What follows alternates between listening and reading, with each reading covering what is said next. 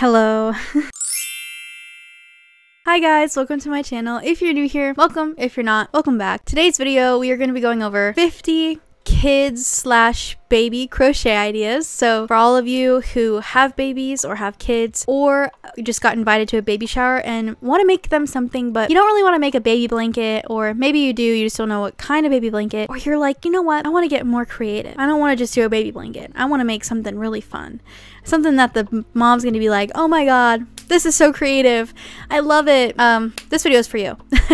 I personally don't have any children, and I don't have any friends who have children, and there's no babies currently circulating in the family yet. But I did make this really cute baby sweater for my younger sibling's stuffed animal. Okay, like look at this sweater. Isn't this adorable? It's the same as a baby size. I don't know how big babies are. That's like baby size, right? But yeah, anyways, I made this cute little adorable monkey sweater thing. So there are my credentials when it comes to selecting good baby slash kid crochet ideas. That's my credentials right there. That's my background. What's funny about this video is I have been in baby fever for a month or so now, and I've been slowly collecting, you know, baby slash kid crochet idea video, crochet ideas um, for a video. And then the other day I saw a couple comments stroll in with, hey, I got invited to a baby shower. I want to make something. I don't know what to make. Can you make a baby video? And it was so funny because I just started a Pinterest board for a video idea just, just because I'm like obsessed with baby clothes right now. Um, and I saw that comment come in and I was like,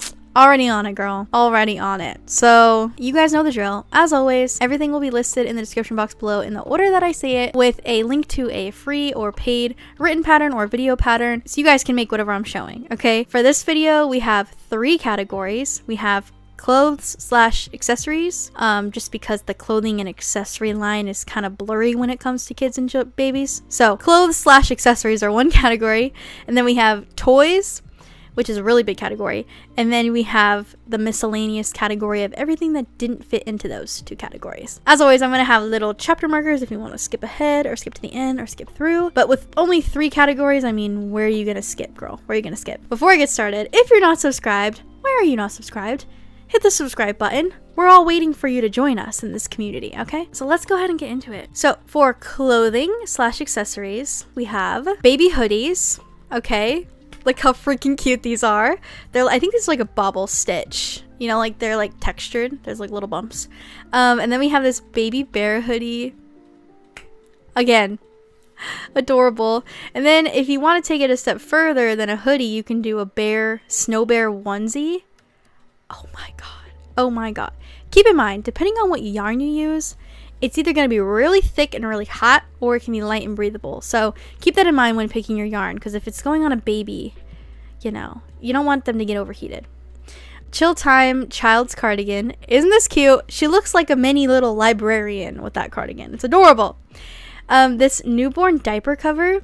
Okay, keep this pattern in mind because there are a couple coming up that are Etsy listings and they don't have a pattern listed but it's literally the same diaper cover just in different colors. So keep this diaper cover pattern right in the forefront of your mind as we continue through this, okay? I'm going to be referencing this one. So then we have this really cute daisy sundress or this dinosaur hoodie. Oh my god, so cute, so creative. And then we have this Pooh Bear set, okay? Cute for pictures, cute for Halloween. Like I said, keep it in mind. This whole like diaper cover thing we got going on, the pattern, I already showed you the pattern. Okay, you're just going to do it in red. Okay? Okay, cool. I don't want people to yell at me in the comments and say, you didn't link the Pooh Bear pattern. Yes, because the Pooh Bear pattern doesn't exist. But a pattern for the diaper cover and a pattern for a beanie with ears and booties exist. So those will be linked. You just need to be creative with the colors, okay? In order to make this. Um, another one we have is this sunflower baby hat and this little baby romper. And then this cute little summer breezy top for, I guess this kid's like toddler age. Oh, it says right here. Sizes 6 to 12 months to 10 years. There you go. Uh, then there's this vintage sun hat, which adorable. And then you can make this says crochet girl dress, but it really just kind of looks like a little swimsuit cover. That's cute. Or this toddler size blue bucket hat, or even baby socks. You can make. I bet those are fast to make because they're little, because they have little feet. Or there's this um, Snowberries dress. I think it says Snowberries. I could be wrong. I don't, I don't really read cursive that well.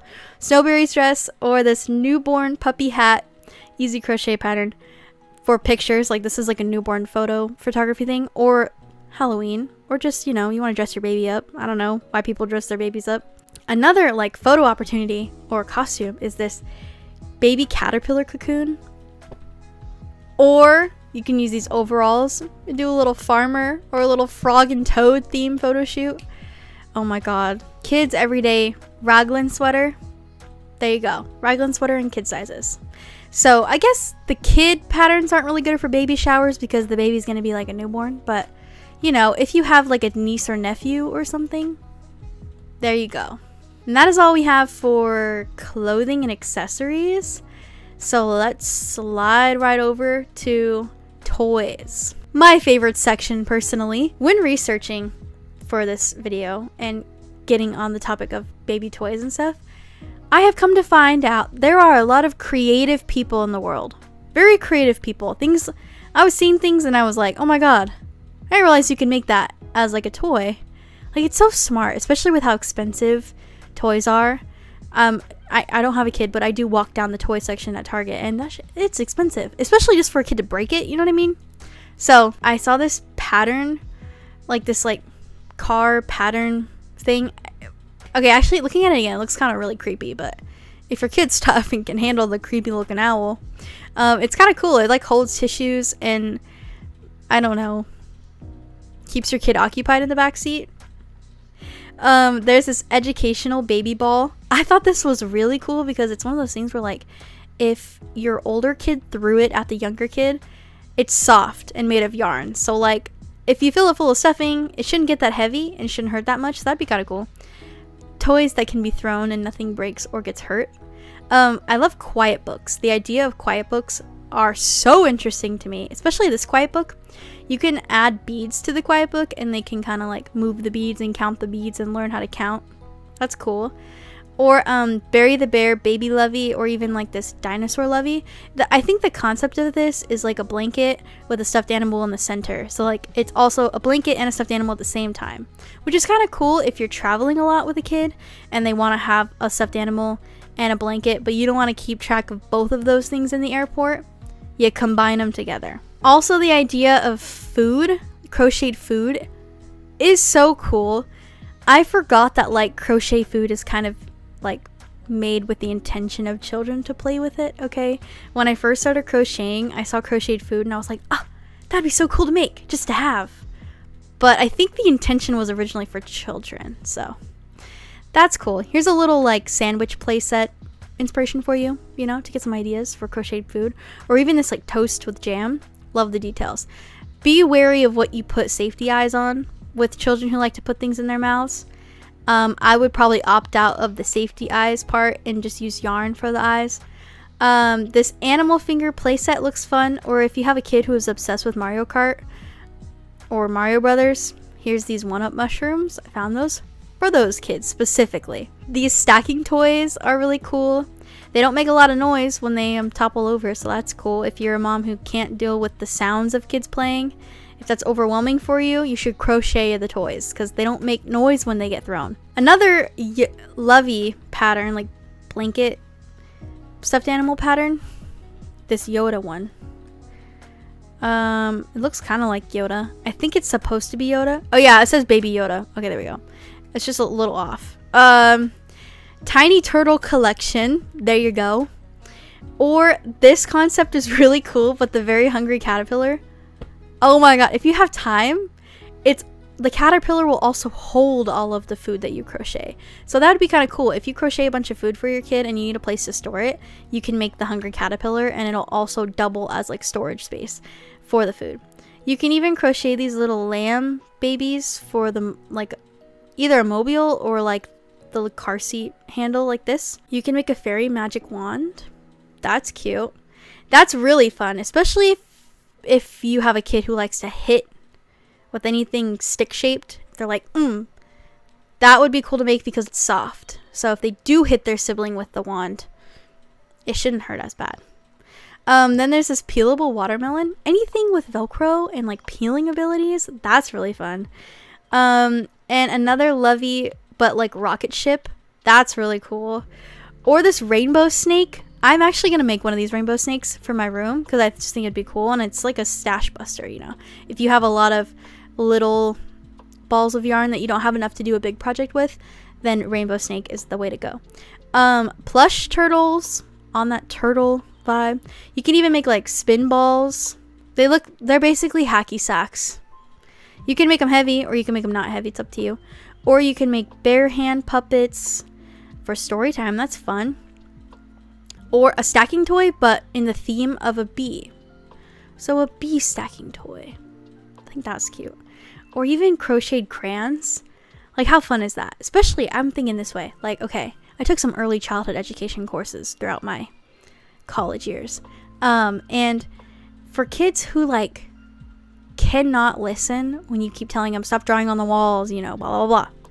You can say, you can draw on the walls, but only with your big crayon. Like, crochet them a huge ass yarn crayon and let them go to town because it's not going to draw anything. But they think they're drawing, they're having fun, you know? Swap it out. Take their crayons away, give them a plushy crayon, a huge one. Let them draw away. If you like the idea of quiet books or quiet blocks, I have this crochet quiet book patterns. Um, it, it's a bunch of different patterns, and these four are like a little preview of them. I think this is such a cool concept, especially if you're on an airplane a lot or you go on a lot of car road trips and you want your kid to be occupied, but you don't want to hear the sound of the toy or whatever it is or disrupt the people on the plane. I've seen kids using quiet books on planes before, and it's so cool. So if you have the time or you want to gift it to someone um, for like a birthday coming up or something, definitely do it. I think those are really cool, and you can get really creative with like the different pages. Anyways, that is all we have for toys. So let's move into the last category, which is miscellaneous or everything that didn't fit into the other two categories. So we have bobble letters in the alphabet, which is basically just a bunch of different squares of letters. This is kind of cool for kids learning their letters or even like as a decor for like a nursery or a playroom. That's kind of cool. Now, I, when looking for this, I stumbled across the category of newborn photo shoots and there are so many themed newborn outfits or sets or whatever crocheted for these newborn photography shoots, which did not realize how popular these things are. But I found these two and I was like, oh, those are so cute. Okay. So if you're a photographer or you're gonna get newborn photo shoots done and you want to make one of these for that, definitely do it. There's this peas in a pod one. You crochet the little thing and then you make the beanies and then it's like two peas in a pod. I think that's cute. And the other one is this frog lily pad with the, the diaper cover and then the beanie. Come on. Come. Does that not make you want to have a baby? Oh my gosh. Keeping on theme with miscellaneous. There's this bumblebee um, car seat cover, you know, keep your baby out of the sun.